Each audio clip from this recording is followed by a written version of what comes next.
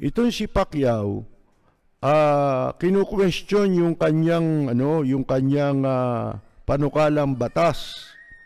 Mga kaibigan, uh, sa pagtatayo ng Boxing and Combat Sports Commission. Yan, ha?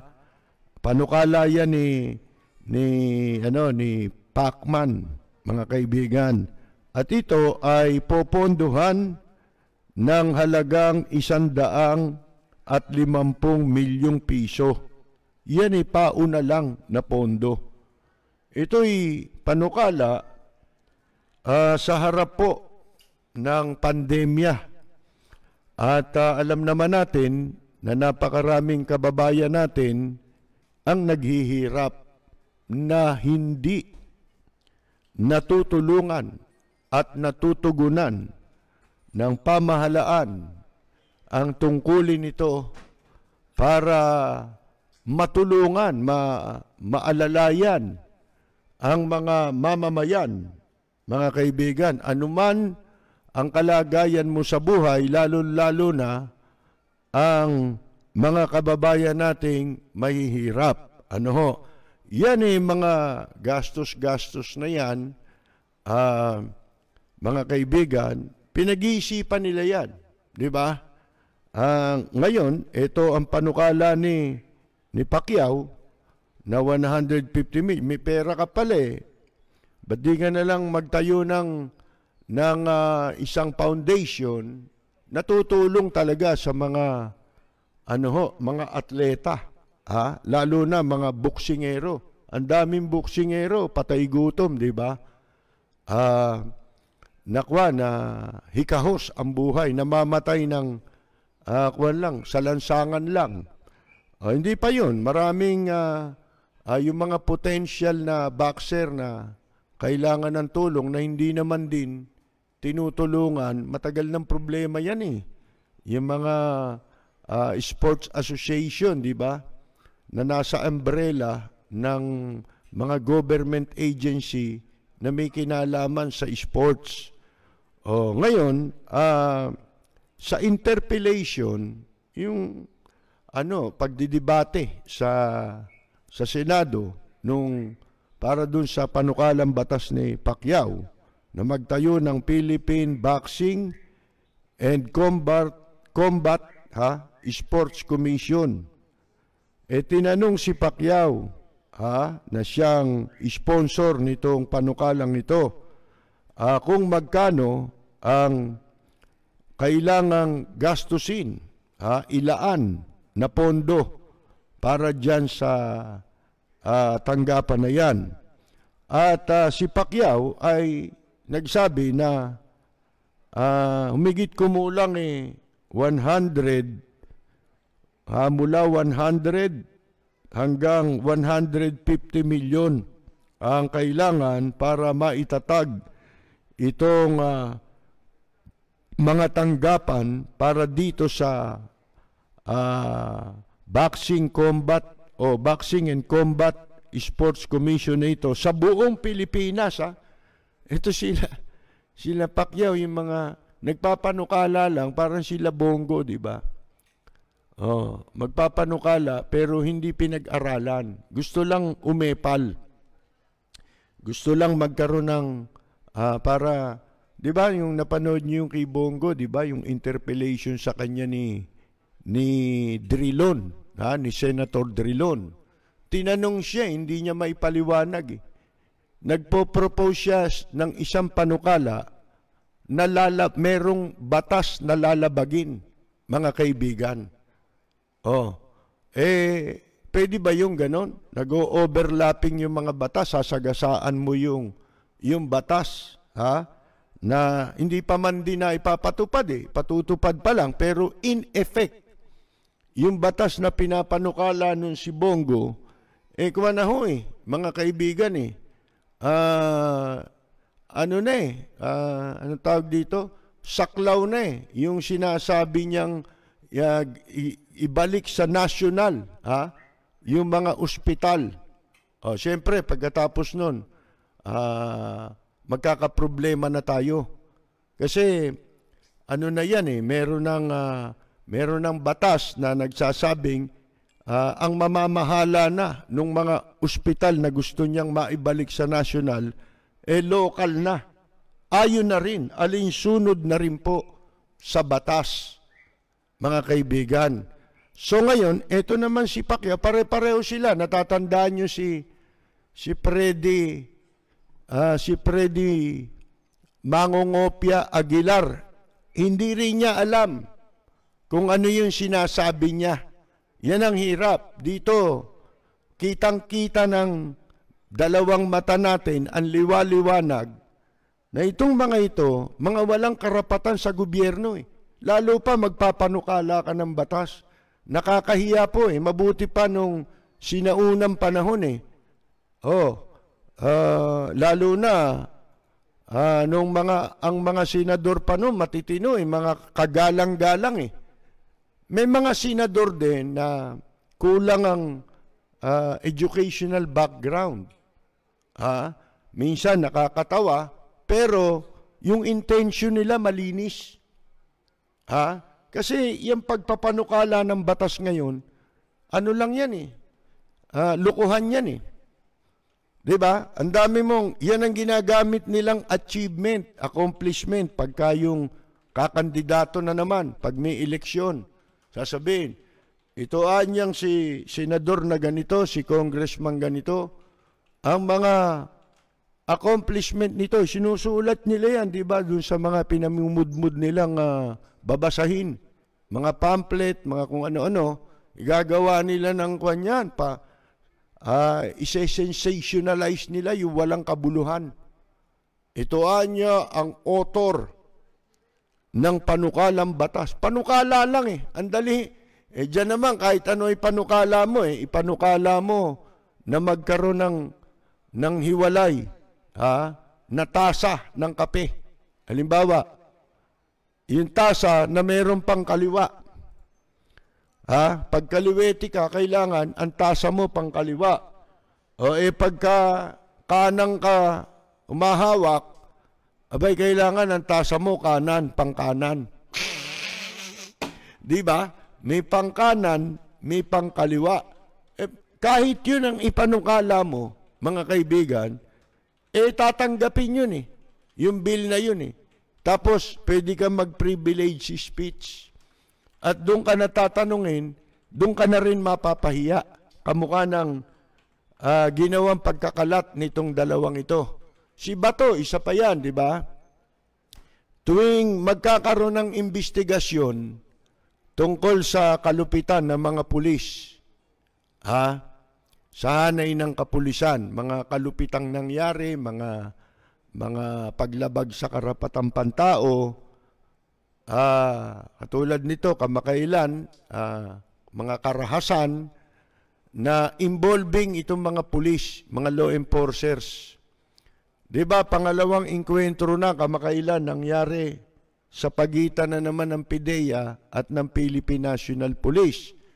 O, dyan eh, lumalabas eh, puro gago itong PMP tsaka yung, yung PIDEA.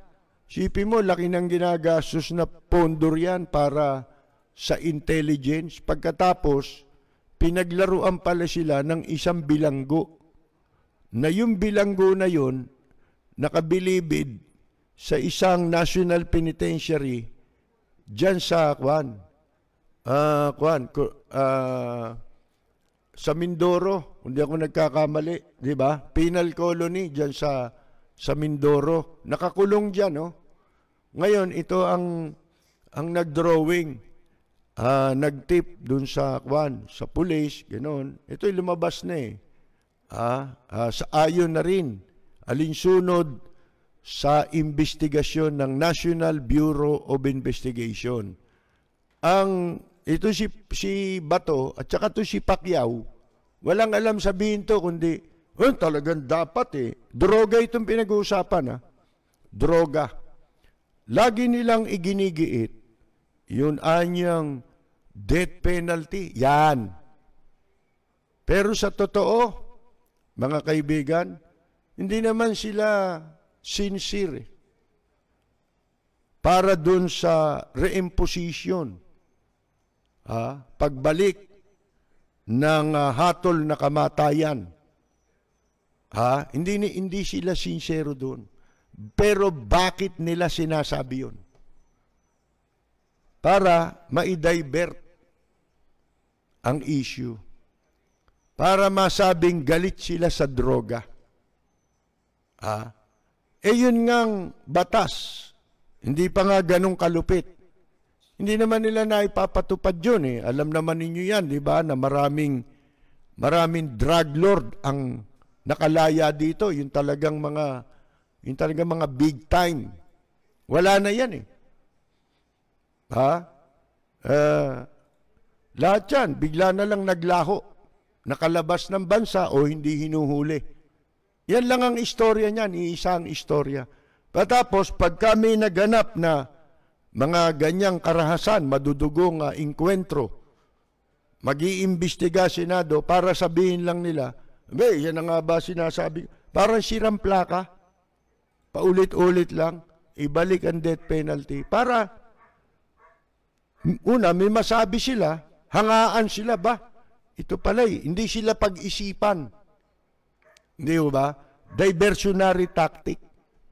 Ngayon, katulad nitong pinapanukala din ngayon ni Manny Pacquiao na talagang disidido na na tumakbong presidente. Mga kaibigan, kawawang bansa ito. Ha? Sipin mo, ang mga bihikulo na ginagamit nila sa pagtakbong presidente, panluloko. Ito, Philippine Boxing and Combat Sports Commission. Yan. Uh, nagagastusan ng 100 to 150 million. Ito'y sa harap ng pandemya na walang ginagawa ang pamahalaan. Ni hindi nila ginagamit ang kanilang kapangyarihan para itulak ang executive kasi nasa legislative sila para puwersahin kumilos ang executive Pwede nilang gawin yan. Di ba? Uh, maging uh, matigas ang Senado para igiit uh, ang tulong na kailangang ibigay ng pamahalaan para sa mga mamamayan, especially mga mahirap. Hindi yung sektor-sektor ang gulo eh. Diba? Ngayon, ito panukala ni, ni Pacquiao. Pero siya'y tinanong, ah, bakit kailangan na maglaan ng ganyang kalaking pondo habang ang bansa eh kasalukuyan pang nakikipaglaban, ha? Talagang uh, nakikipagbaka dito sa COVID-19 pandemic. Oh. Ah, dapat talaga uh, meron din mga protection. Alam nyo, yung kasi mahirap dito eh. Kailangan para maibigay ang uh, eh, sa katotohanan lang, kahit maipasa mo yung batas na yan, baliwala rin yan eh. eh kasi nga, ito'y kasangkapan lang eh. Sipin mo, gaano katagal si Pacquiao sa sa kwan, sa pagiging mambabatas bilang congressman at senador. Pero Naisip niya ngayon lang ito, tulungan. Yung mga makatutulong daw ito. Oh, eh, nagpapanggap. Katunayan eh, si Pacquiao, paulit-ulit ko rin sinasabi dahil alam niyo naman ng mga butante, eh, malilimutin yan eh. Di ba? Oh, lalo na pag nakahawak ng pera yan galing sa politiko, kunyari, parang si Digong, si Digong nyo. Di ba? Ang sabi niya kasi, meron daw siyang experience, isa siya sa mga dumanas bilang boxer ah, na nagretiro oh, mula sa uh, sport nang walang nakuhang benepisyo tsaka pensyon. Oh, mga kaibigan. Ano ginagawa mo? Ba't ngayon mo na naisip yan? Di ba? Magtayo ka sana foundation, hindi yung kukunin mo pera sa gobyerno. 'Di ba? O kaya eh ah, ipinasama mo na lang yung mga ah, atleta, lahat ng atleta, pasama mo sa automatic na membership sa SSS, di ba? Oh, yun, may benepisyo na sila. Hanap ka ng bracket, di ba? Pero yung magtayo ka ng magastos na opisina, abay kalokohan yun. Yun lamang Department of OFW yung panloloko nila Bello, tsaka ni Presidente Digong nyo, tsaka ni Bongo. Malaking ano yun.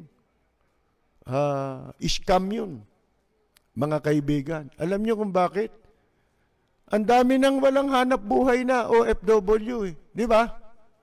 At ang masama, wala tayong panibagong market na pagdadalhan ng OFW para madagdagan. Di ba dapat nag expand Di ba? Kasi dyan nakasalalay ang ekonomiya natin eh. Ang problema, paliit ng paliit. E di pahirap ng pahirap ang buhay mga kaibigan, di ba?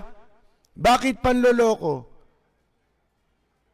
Eh wala ka na, wala nang kabuluhan yung iniisip mo eh, yung Department of OFW. Eh. Wala ka na sa serbisyuhan eh. Una gasto siya, may Department of Labor na eh. Kaya nga hindi totoo, hindi, ako, hindi kayo dapat maniwala dyan. Hindi totoo yan. Mga kaibigan, sipin mo, laking pera niyan. Ito commission pa lang eh. Tatayo mo pa lang yung tanggapan, ang paunang pondo kagad, 150 million. E di billion yan, mga kaibigan. Oh, kaya daw siya ay umaasa na yung mga professional boxers, ha, eh, kapag nagretiro, may makukuha. Oh. Eh sana, ibinayad mo sila sa SS ng membership, di ba? Habang wala kang, ang dami mong pera, namimigay ka ng pera. O sobra-sobra yan, di ba? Ilan lang ang atleta. Oh, yung mga professional, ang binabanggit niya. E di yung professional lang, gaano karami yung professional? Mga kaibigan, boxer pa man din lang ang tinutukoy niya. Eh ilan lang yan eh. Kayang-kaya mong anuhin yan eh. Ponduhan yan eh. Hindi ba? Si Aguilar naman noon, natatandaan ko, naggaling-galingan, no? Ano daw? Department of, uh, kwan, artist yata. Ha? Mga kaibigan, sipin mo yan. Gagawin mo departamento. Wala naman trabaho. Wala naman ginagampan ng mga trabaho. Paano? Hindi iniisip. Di ba? Pinagtawanan. Di ba? Oh. Paano ano eh? Nagpapanggap eh. Nagkukunwari. Ha? Akala mo may alam, parang si Robin Padilla, nakita nyo ba ngayon? Yung litrato? Ha?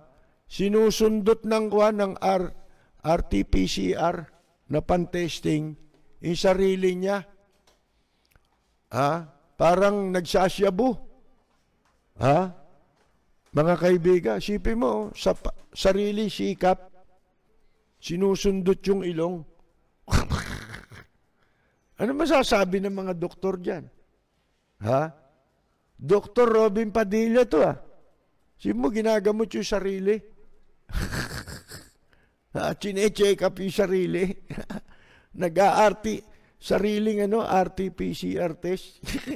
Ang pangit, di ba? Yung sarili, oh, ganun pa, oh. Parang nagsasyabu. Ha?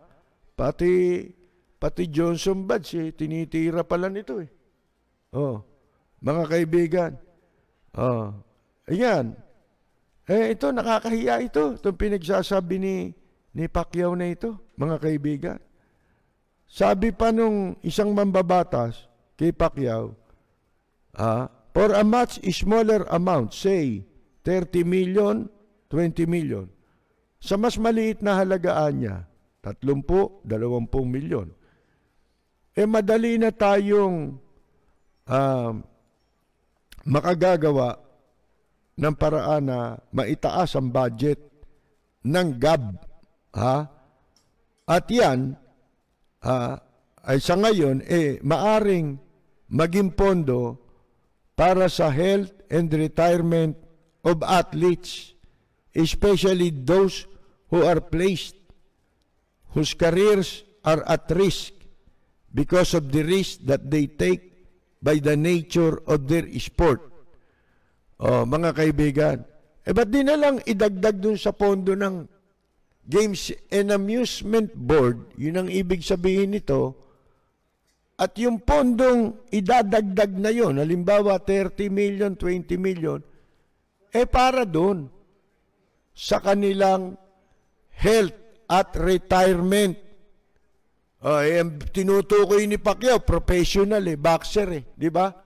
O di, ilan lang yan eh. Ang laking pera na nun. Yun ang ibig sabihin. Ha? At, mga kaibigan, ha, ito ay ibibigay mo dahil yung kanilang mga profesyon ay mapanganib. Ha? Oh, mga kaibigan, kaya bibigyan mo sila. Pero, ilalagay mo na lang sa existing na o dati ng opisina, nandyan na. Hindi tatayo mo pa. Walang kabuluhan eh. Yung panukala eh. Mga kaibigan eh. So, ah, yan po ha. Bagamat iginagalang daw anya yung ah, itong ah, ah, kwan, gusto mangyari ni Pacquiao. Ha? At ah, mahal niya yung kanyang ah, kinabibilangang sport. Oh. Eh, sinasabi ko lang nga niya, sabi ng isang mambabatas, ah, para masuportahan niyang yung iyong ah, pagnanasa na yan, ha? na makapagbalik ka ng parang utang na loob dyan sa sport, ha? Oh, eh, ganun na lang ang gawin natin. Maglaan tayo ng 30 million. Oh, bilang dagdag sa pondo ng GAB, 20 million. Ha? O, at iyan ay iuukol para sa ah, pagre-retiro at saka sa pangkalusup, mapangalagaan yung kalusugan ah, ng mga atleta, lalo na yung mga ah, nabibilang sa mapanganib ang kanilang ah, larangan. Eh, isa na dyan yung boxing. Di ba? Eh, yan. Mapanganib talaga yan. Kita mo, kumalog yung utak ni Pacquiao eh. Maiisip mo ba ito kung walang kalug yung utak mo? Si Percy Lapid, Bumabanat, Lapid Fire. Why are, okay, the, the says the Philippine Boxing Commission shall be directly under the administrative supervision of the office of the President. May we know why, Mr. President, it has to be under the office of the President? Would the gentleman tell us how many officers right now are under the administrative supervision of the President? Under this, uh, uh, um, the members, or under this bill, Mr. President, it there will be, there will be, uh, seven, seven members. Uh, one is a, uh, we call the chairman and uh, six members, board members.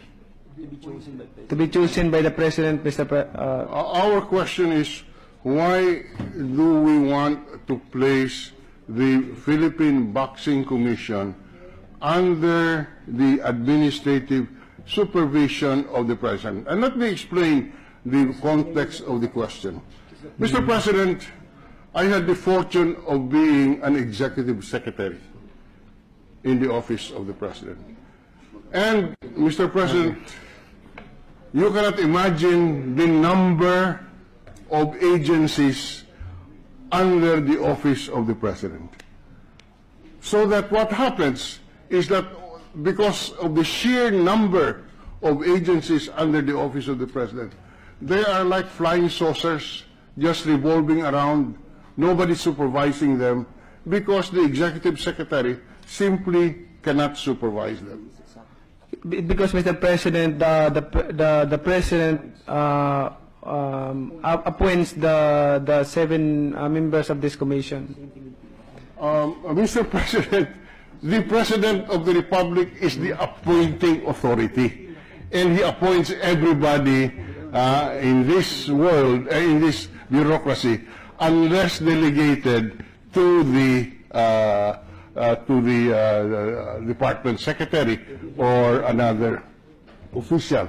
The fact that one is appointed by the office of the president is not a justification for putting the agency under the office of the president. Yes, it is, It Mr. can be, President. the Philippine Boxing Commission can have the commissioners appointed by the president and be under the Games and Amusement Board uh, for administrative supervision. Uh, I I think it's best to to be under by the president, Mr. President. Why, Yes, Mr. uh, President?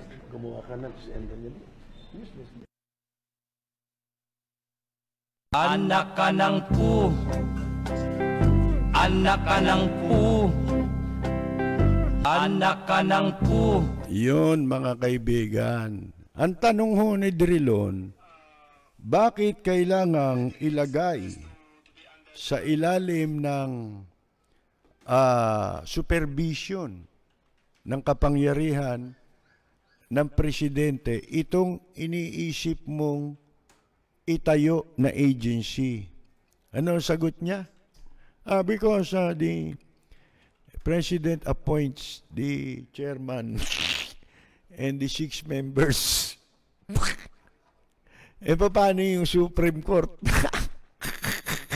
Under the office of the President ba yung Supreme Court? Eh kasi nag-a-appoint doon, presidente rin eh. eh sa kaya sabi ni Direlon, eh not necessarily na ang presidente nag-a-appoint hindi niya kasi may paliwanag, di ba? Gu- Gumagawa ng panukala, hindi naintindihan. Eh, ano pa raw eh, magsi- nagsisip-sip pa eh, di ba? Kay digong nyo eh. Eh, para ah, under ito ng, kumbaga parang pagkor, di ba? Under the office of the president. Oh, mga kaibigan, tinatanong siya bakit kailangan. Ang sagot naman niya, ah, because the president appoints the chairman and the members of the board. mga kaibigan, hindi na ho may paliwanag eh. Ha? Si Drilon din na nag-interpellate. Oh. Nung araw, may mga senador na ah, tayo na hindi na ganong nakapag-aral. Tulad si Amang Rodriguez, di ba? Oh, pero magaling 'yun kasi ang intention niya malinis. Wala nga siyang gaanong tulad niyan yung tinanong si Amang Rodriguez noon eh tungkol sa ah, law of supply and demand. Parang ano ngayon yan, yung bakuna, di ba? Ah, walang supply, ah. Malaki ang demand, di ba? Yun yun, yung law, mababa, ha? Ang supply, malaki ang demand. Eh, pagkakaintindi ni Amang Rodriguez, batas yun. Kaya sabi niya, well, uh, let's, let us repeal the law. Akala niya batas yung law of supply and demand. Ha? Yung law of supply and demand, ibig sabihin nun, ano yun eh? Natural yun eh, di ba? Natural na nangyayari yung katulad ngayon, merong ah, law of supply and demand, di ba? Oh, yun. Akala naman ni ni Juan, ni Amang Rodriguez ay let us repeal the law. Oh. Eh baguhin daw yung batas. Hindi naman batas yun. Pero ang kagandahan sa kanila kahit na mali ang kanilang pagkaintindi, yung kanilang sincerity, ha, mga kaibigan, sa kanilang mga pinapanukala. Ito wala naman walang nakapaloob na sinseridad dito eh. Dito eh. Mga kaibigan eh. Ha? Una, kung makakalusot ito, saka sakali, di ba? Mapapalusot nga naman niya, mabobola niya si si digong nyo, di ba? Oh, eh. Oh, naka, nakagawa ako ng kwan ha, para sa iyo. Gagawin niyang achievement ni Digong nyo at saka niya. 'Di ba? Sasama niya si Digong nyo doon sa achievement.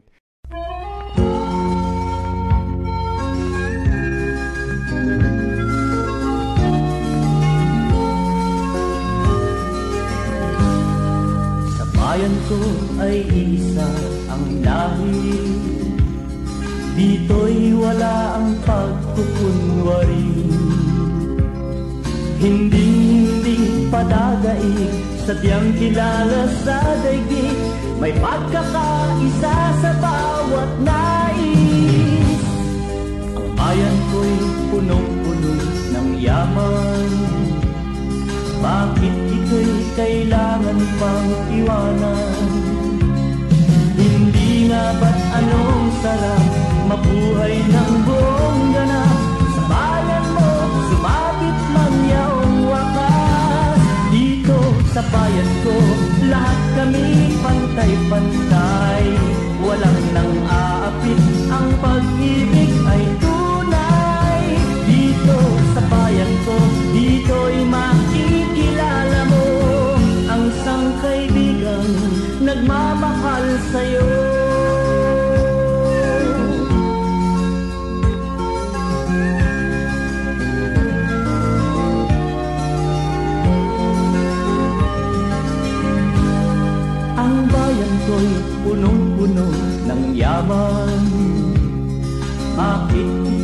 kailangan pang iwanan?